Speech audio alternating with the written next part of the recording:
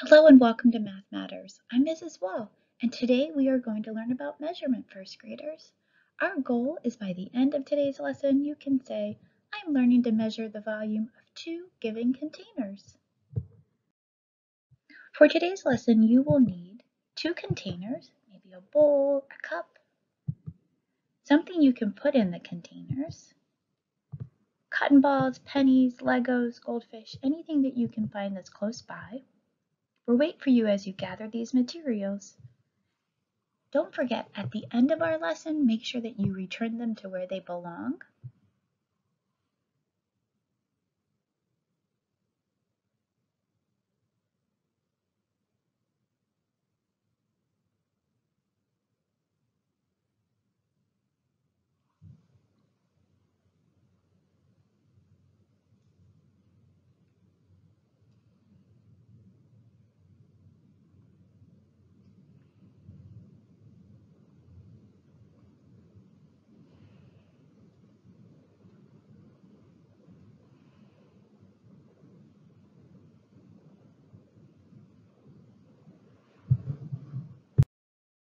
Today you will have an opportunity to practice your portrait of a graduate attributes as we discover measuring together.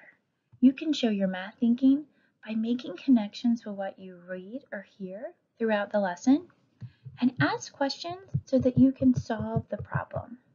Remember, our goal today is that we are learning to measure the volume of two given containers.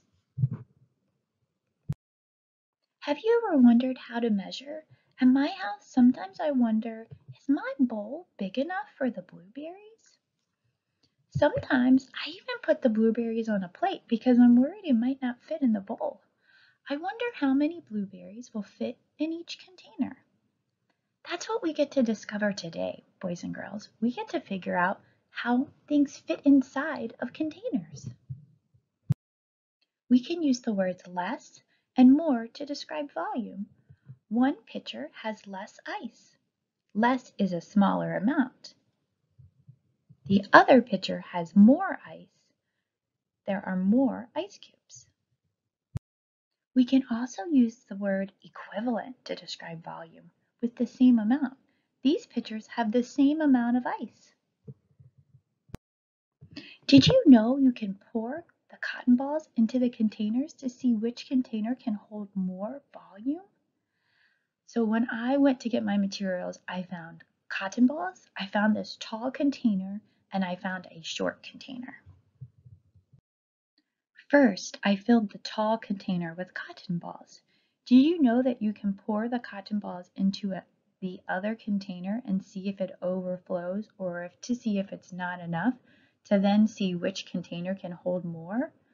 Okay, I'm going to pour them into the smaller container there's still some space left in the short container. The short container holds more cotton balls than the other container. Hmm. Were you wondering how many cotton balls are inside that tall container? Let's dump them out and, and count together. Okay, I just dumped them out and I'm going to make it easy for us to count. Five, 10, 15, 16, 17. There were 17 cotton balls in the tall container. Okay, now I filled the small container all the way to the top. Let's pour the small container into the tall container. What do you think might happen? I don't know if they're all going to fit. Let's find out. I filled it all the way to the top and there are two extra cotton balls that will not fit in the tall container. I really wonder how many cotton balls were inside that container. I wonder how many cotton balls are inside. Let's count them. I laid them on the counter. Five, 10, 15, 16, 17, 18, 19. The small container holds 19 cotton balls. What did you notice about the two different containers?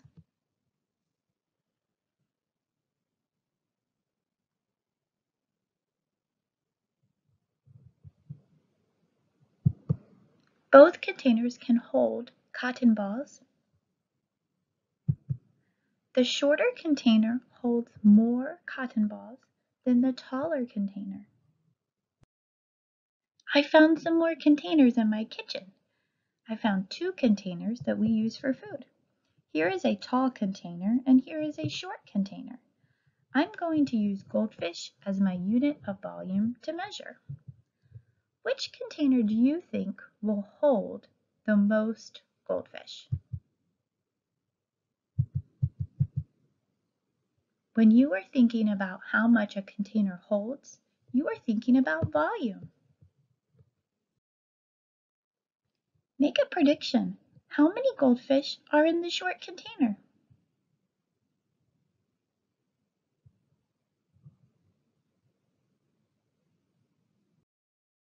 Let's count to find out. I've made some 10 frames that are going to be put on top of the fishies to help us count. 10. Here's the second 10 frame. It doesn't fill the whole 10 frame. There's one empty space. The short container holds 19 goldfish. I put the cracker crumbs together to make the 19th goldfish. We've been doing a lot of puzzles at our house, so I could see how they all fit together.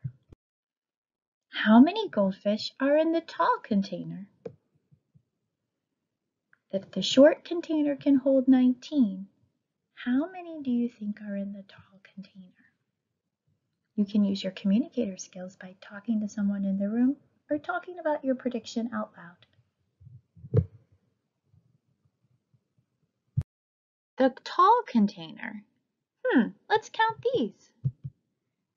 10, 20, 30, 40, 50, 60, 70, 80, 90, 100.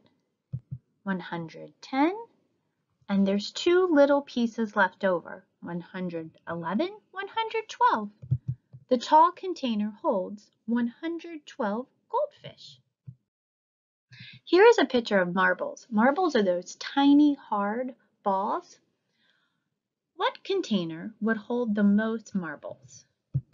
A bathtub or a carton of milk? What container would hold the most marbles? Take some time to think about this. You can use your communicator skills to talk out loud your answer or to, to tell someone that's in the room. The bathtub holds more marbles than the milk carton. The milk carton holds less marbles than the bathtub. I'm going to give you some time to explore. What do you notice about the containers that you were able to find in your house? How much do they hold?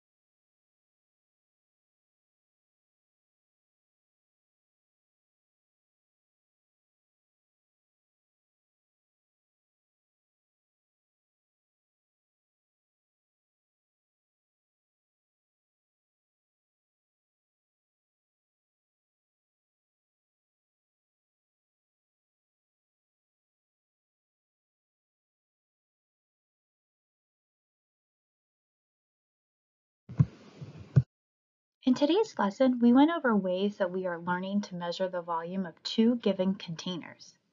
Take a moment to reflect. Were you able to make connections to what you read or you heard? Were you able to ask questions to help solve the problem? Let's finish these sentences together. You can write or tell someone in the room. I learned blank.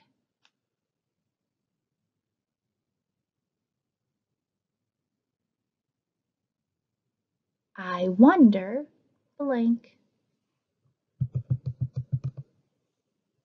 Remember, you are welcome to share your learning with someone at your house or your teacher.